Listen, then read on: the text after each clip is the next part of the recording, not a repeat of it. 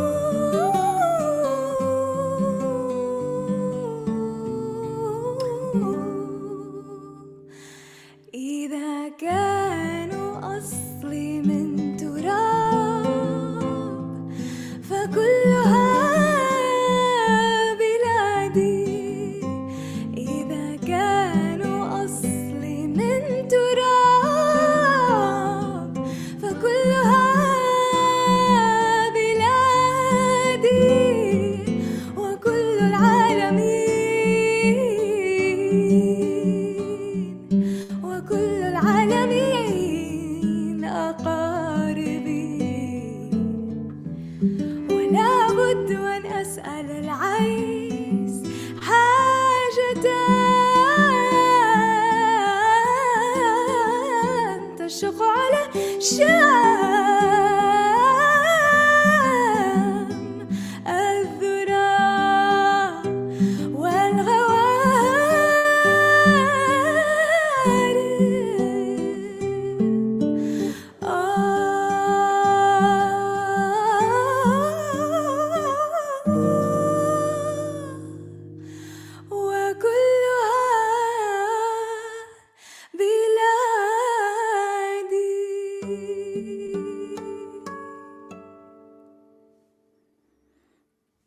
Beautiful. Thank you. Thank you. You have a beautiful voice. Thank you so much. Um, what got you into music? What was the start?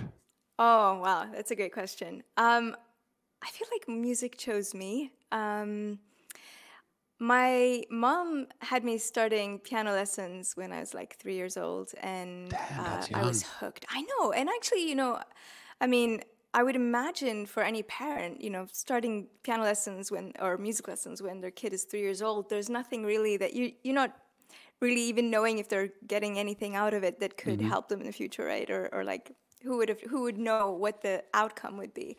But basically, um, that combined with me being in a child children choir um, for a Lebanese singer who is um, also uh, very young. Um, I was on stage with her um, in the choir when I was three years old, and um, I just wouldn't get off the stage. Oh wow, And you were so hooked. my yeah, I was hooked. I was like, this is amazing. I want to do this. And so I just kept going. And then the next, like a, the year later, when I was four, I was on stage playing piano and singing in French, which I didn't. La Vie en Rose was the first song I ever performed, like my my own self, like Okay. on stage. And I didn't speak French. I just learned the lyrics and I was singing them. And ever since then, I just like that was something that just brought me so much happiness. And I think my family knew, especially my mom, uh, knew that this was something I wanted to just have in my life. Um, and, you know, I don't think they ever imagined that that would be my profession. But looking back, yeah, you collect, you connect the dots and you see, yeah, that was very clear. How did flamenco come into your world? Ah, that's interesting. So, um, my family moved to Spain when I was a teenager. Um, and, you know, I didn't speak Spanish or anything. And I got there and I was like, this is such a beautiful country and people are so nice and they're like us. They're like, you know, they're like Arabs. You know, they're so sweet and warm and and um, I just felt really like very home in that sense. That's also why the song Kulla Biladi, while that why that poem resonates so much with me. Um, but um, my sorry about that. Um, That's What happened is that almost feels like a background music. Uh, to the- Exactly. to Let's the talk about your home now. Um, and so yeah, and so when I listened to flamenco, I heard we attended a flamenco show for the first time, and I was just blown away. And it, it there were so many similarities with Arabic music that it didn't feel foreign, um, if that makes sense. No, no, it's well, it's the Moors, and Yeah, and uh, I also discovered some of my own family heritage that came from Spain, from Granada, the Abencerrajes, which Aben um, in Arabic means, you know, a son of or tribe of, and hmm is the Spanish uh, word for Siraj. Um, so I kind of also discovered some of my heritage there, oh wow, and I just just fell in love with flamenco. Um, after studying at Berklee College of Music um, in Boston, I decided that I wanted to um, learn flamenco singing. So not that I could become a flamenco singer, because I was I w- I wasn't a flamenco singer. I, I wanted to just learn and immerse myself in flamenco music and tie it in with my own heritage and with Arabic music and have it be a part of my voice. It just, I, I, I, it wasn't intentional. I just wanted to learn it so much that it ended up coming through my own music um, with the similarities between flamenco and Arabic. got it, got it. No, there there are, and it's interesting because both styles have this. Um, I, I keep calling it emotive quality, but there's something. There's probably another word for it that I'm missing out right now. Where it is, in order to do it, in order to do it well, you kind of have to be in touch with your emotional self. You kind of like, and Yeah. and um, I remember being in Barcelona at a flamenco show, and I was talking to somebody. It's like, you can't fake it. You can't. Like, you know, other artists will spot you and they'll go like, you're not doing it. It's just like it's just not there. And this is in uh, both uh, uh, both traditions. And you know, in focusing with Sama, focusing on sacred music from all over the world, and sacred brought mostly intention is healing, transcendent. You kind of have to have that ability. And I always go like the up and down. Like you kind of have to, from your heart to your mouth to your. To, it's like it, there has to be this connection with it and it's not easy music you know you think it's like oh it's simple it scales it's like no because the, the, the connection to the emotion has to be so real and when you're like if i'm not tearing up at a flamenco show if i'm not tearing up at um, you know an arabic music show then something's missing there like it needs to hit me.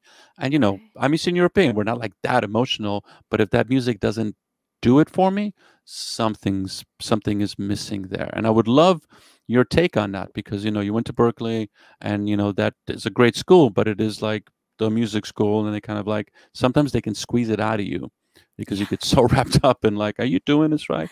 And so how did you hold on to that? Because i'm hearing your music and when i when i was saying before i was like she's got it. She can actually bring that out. You can tell that you're you're there. You're connecting. Thank you. Um, thank you for saying that. Um, I do agree. You know, I think music school is it can be great, but it can also um, teach you to analyze everything and be overly analytical. Um, and there was actually um, someone coined the term music school syndrome, right? Where you can't sit and and enjoy the music because you're analyzing it and wondering, is that you know what chord is that? Is that a you know a minor seven flat five? You know what is it? And instead of being like absorbed in it. Um, luckily, I did not lose that. and um, I think flamenco and my own heritage, like uh, Arabic music, really helped with that because, like you said, you have to be present. You have to feel it. These are deep cultures, uh, very rooted in uh, in feeling, and so you can't not you can't not feel it if it's really just something that that touches you um, you have to be present in that moment. And I feel like that's what I don't know. Maybe correct me if you don't um, feel that way yourself, but I feel like that's why we go to music shows. That's why we go to concerts is to feel, just be present, and let ourselves feel things and be vulnerable in a way that uh, is can be exclusive to being in that space, right?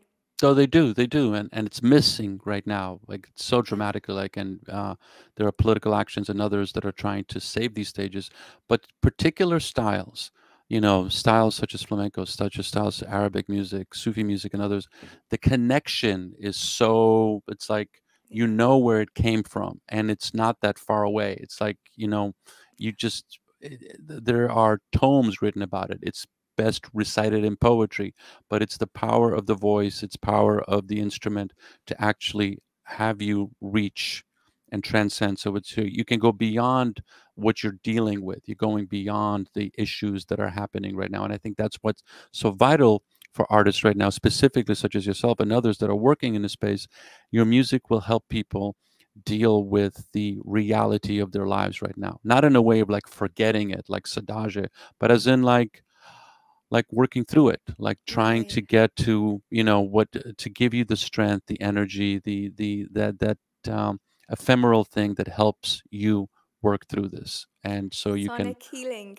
yeah Absolutely, and that's I mean me personally that's one of the things that I feel my my music uh, I try to offer in my music is this sonic calm, this sonic healing and positive energy at a time where we really need it. Yeah. Um, and I, I wanted to mention one thing about flamenco and Arabic music because there's a lot of similarities. Um, and in my own music, I perform when, when I perform a lot, especially improvisation. There's, um, you know what, you know when you go to a flamenco show and they're, they're all like ole, you know, um, ole comes from uh, the Arabs, right? So um, even like if you're in a concert in Jordan, you'll hear people also um, shouting out, you know, Allah or Yalil or you know.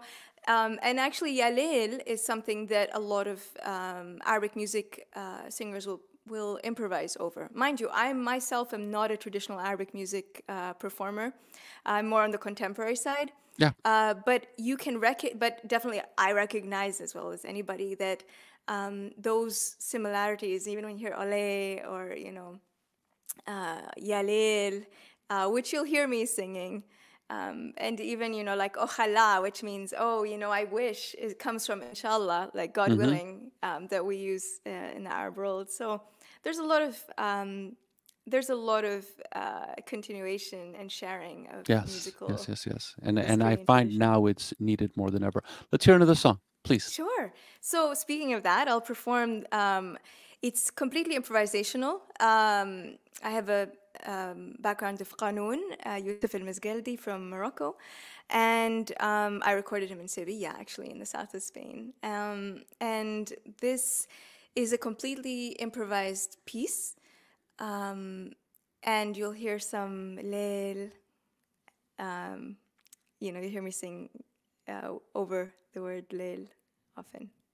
Awesome. And it's meant, salam means peace. So I hope that this improvisation, this piece will bring peace to anyone who's listening and feels that they need it. Thank you.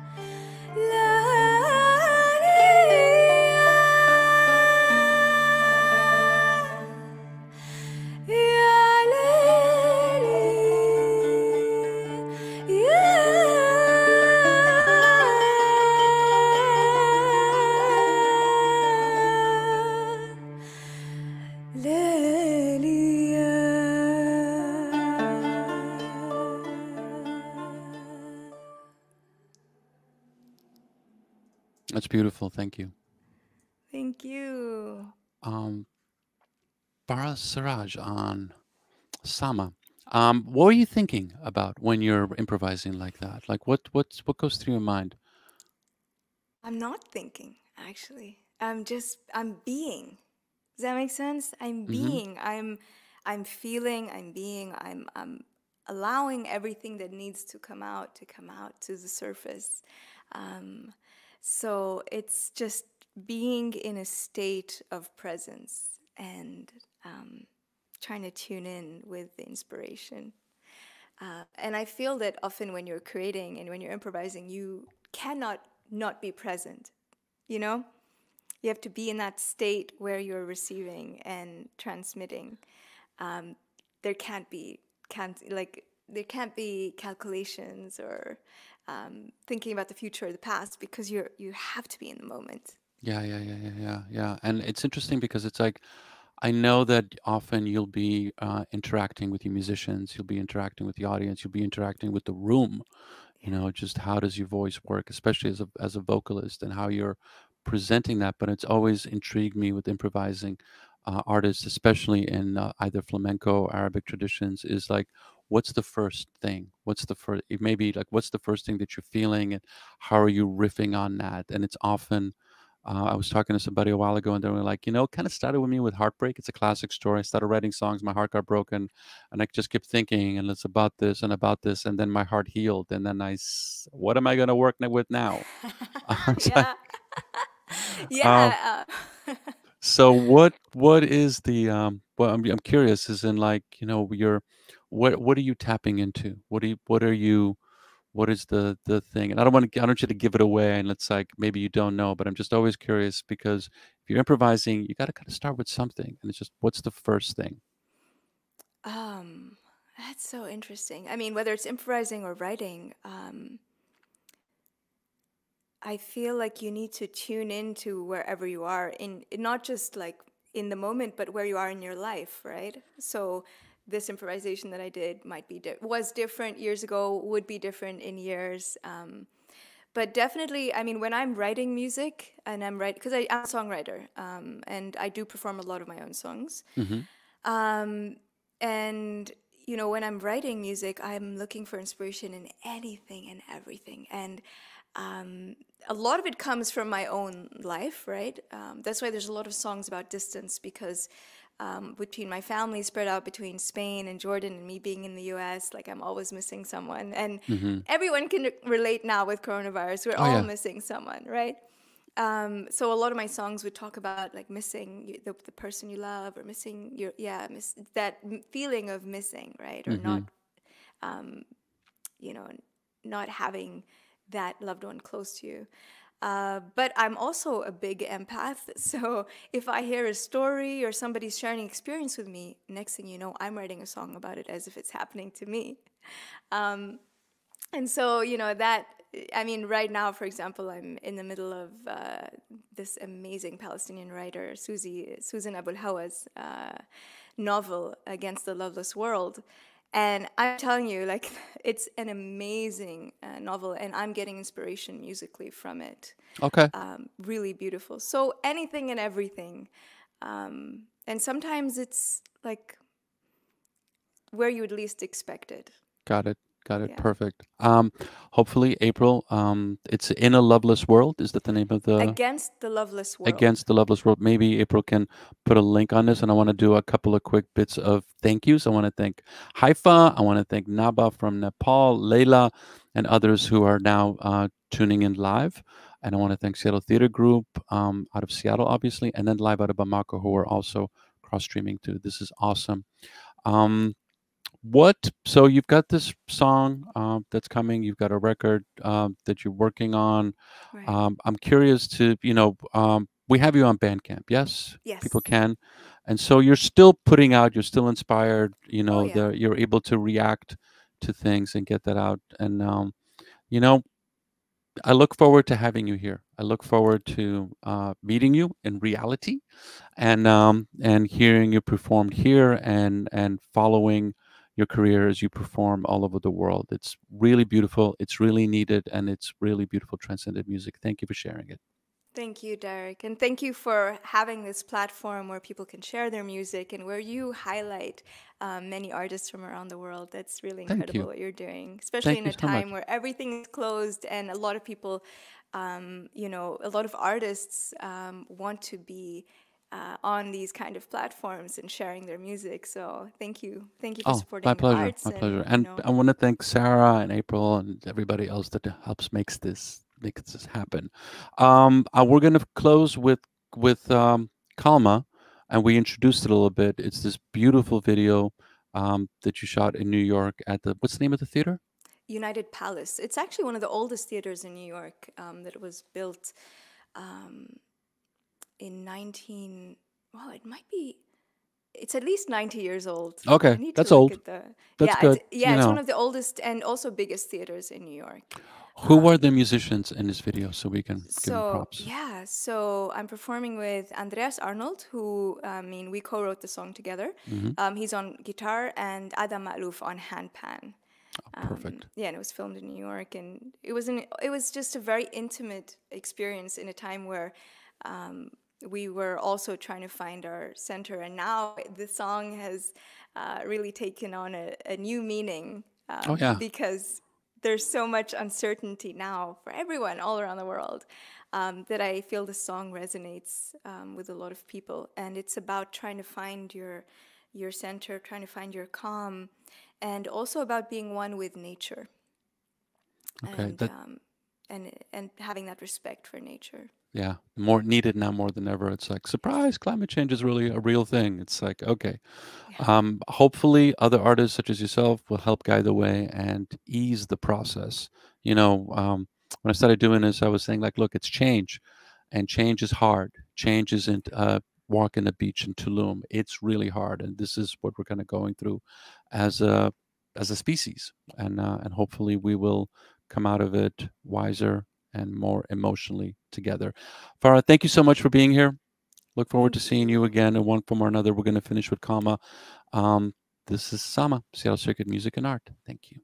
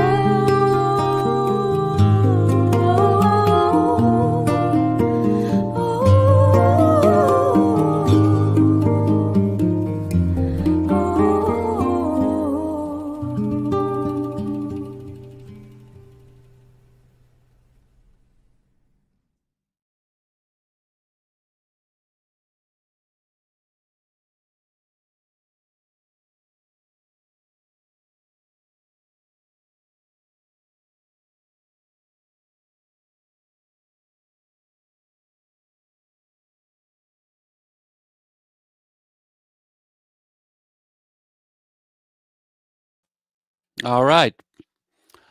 Farah Siraj on Sama, Seattle Sacred Music and Art. I'm Darek Mazzone. Thank you so much for watching this live stream. Uh, we're back next Thursday, 7 o'clock Pacific Standard Time with Samir LanGus, uh, Grammy nominated Gnawa um, uh, performer, singer, um, was in, in Gnawa doing some really amazing work right now that I'm so happy to share. I think it might be the first time. Uh, let's see, then we've got Chris Eckman, uh, who is the founder of Glitterbeat Records, and then some more surprises as the months continue. Uh, we're here and we're here for you. And uh, please subscribe to our YouTube channel, become our friend on Facebook as we live stream uh, transcendent music from all over the world. Peace. Be good to yourselves. Be good to others. We're going to get through this. We really will.